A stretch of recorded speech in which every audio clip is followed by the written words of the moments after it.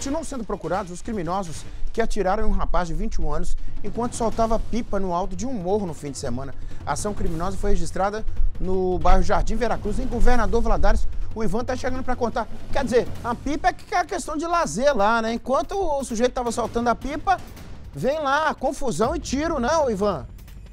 É exatamente isso, Nicomedes. Ele estava bem tranquilo e acabou atingido por um disparo na coxa e outro disparo no joelho. Mas como você falou, Nico, este rapaz de 21 anos soltava pipa de boa no alto de um morro no bairro Vera Cruz quando os suspeitos efetuaram os disparos.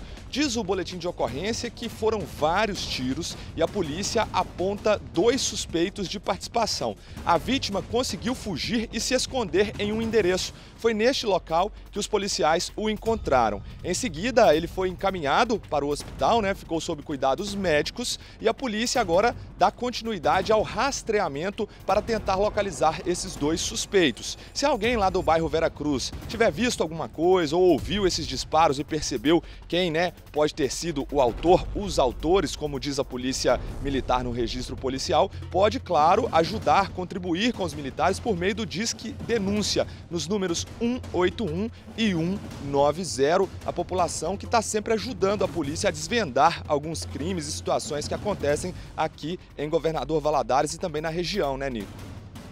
Ferramenta importantíssima. Sempre tem alguém que vê alguma coisa, viu a movimentação, escutou alguma história, passa para a Força de Segurança, para a turma pelo menos chamar o pessoal para responder o processo, né?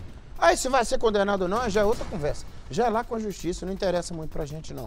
Obrigado, Vivan, por sua informação. Daqui a pouquinho você está de volta